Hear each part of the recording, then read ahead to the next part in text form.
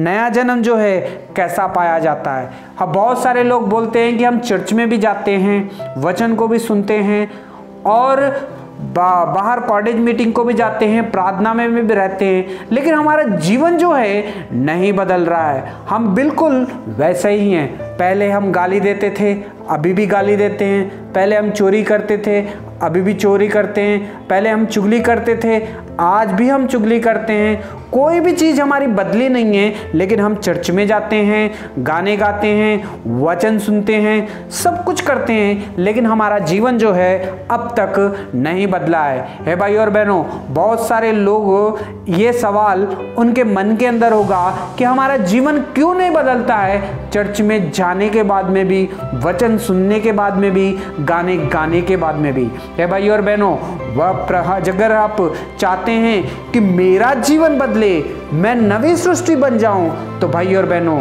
सबसे पहले हमें एक काम करना पड़ेगा।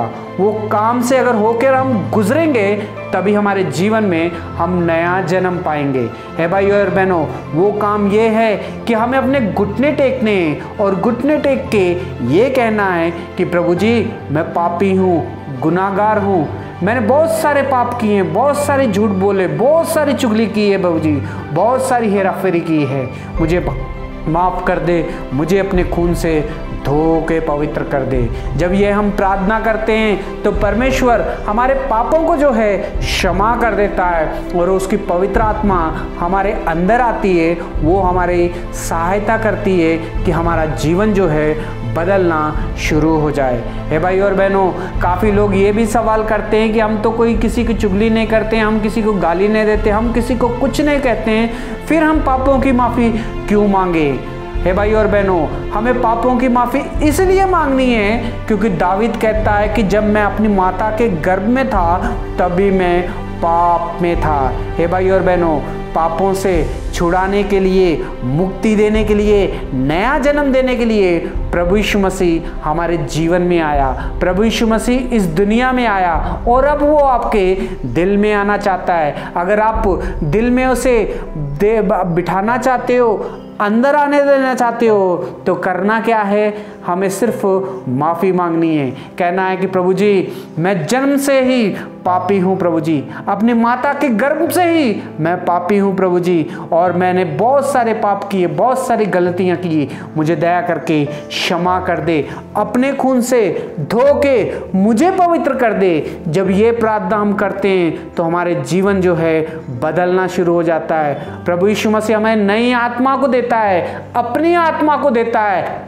वो हमारी सहायता और मदद करती है, ताकि हम अपना जीवन जो है, बदल सकें। हे भाई और बहनों, अपना जीवन बदलने का सिर्फ़ एक ही एक तरीका है, एक ही एक मार्ग है, वो है प्रभु यीशु मसीह। है भाई और बहनों, वो राजाओं का राजा, प्रभुओं का प्रभु और सारी सृष्टि का करता, उसने अपने पुत्र प्रभु यीशु मसीह को हमारे लिए इस दुनिया में भेज दिया।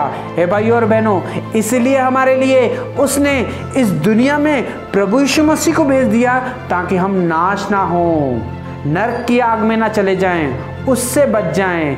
इसलिए उसने अपना इकलौता पुत्र बलिदान होने के लिए दे दिया। हे भाई और बहनों, उसे मारा गया, कुचला गया बेजती की गई और उसके मुँह के ऊपर थूका गया, लेकिन फिर भी वो चुपचाप रहा। सिर्फ़ इसलिए ताकि आपके लिए, मेरे लिए एक वो नया जन्म दे सके। आपके लिए, मेरे लिए एक मार्ग बना सके ताकि हम भी पिता के साथ, उसके साथ युगों युगों के लिए राज्य कर सके। हे भाई और बहनों, पुरानी बातें जो है बीत गई हैं। अब सब कुछ नया हो गया है। अगर कोई मसीह में है तो वो नई सृष्टि है। पुरानी बातें जो है बीत जाती हैं और देखो नई बातें हो जाती हैं। हे भाई और बहनों, अगर चर्च में जाते हो, गाना गाते हो, वचन भी सुनते हो, अगर आपका जीवन नहीं बदला है अगर आपका पुराना व्यवहार नहीं बदला है तो इसका मतलब ये है कि आपको पापों की माफ़ी चाहिए, आपके जीवन में उद्धार चाहिए, आपके जीवन में प्रभु यीशु मसीह की आत्मा चाहिए। अगर वो आत्मा आपके अंदर आएगी तो आपका जीवन जो है बदल जाएगा। हे भाई और बहनों, वचन में लिखा है वचन में लिखा है कि देख, मैं तेरे द्वार के बाहर आके खटखटा रहा हूँ। अगर कोई दरवाज़ा खोल के मुझे अंदर आने देगा। तो मैं उसके साथ आके, भीतर आके उसके जीवन में काम करूँगा। हे भाई और बहनों, वो हमारे साथ भोजन करना चाहता है, हमारे अंदर आना चाहता है, हमारे अंदर रह के वो काम करना चाहता है। हे भाई और बहनों, क्या आप भी प्रभु यीशु मसीह को आपके अंदर आने देंगे क्या आप भी नई सृष्टि बनना चाहते हो। अगर आप भी नई सृष्टि बनना चाहते हो, नवा बनना चाहते हो तो भाई और बहनों, आपको करना सिर्फ़ एक ही एक काम है, वो है अपने गुनाहों की माफ़ी मांगना है। प्रभु जी, मुझे माफ़ कर दीजिए। अपने खून से धो के मुझे पवित्र करें। जब ये प्रार्थना करेंगे तो प्रभु हमारे जीवन को जो है बदल देगा। हे भाई और बहनों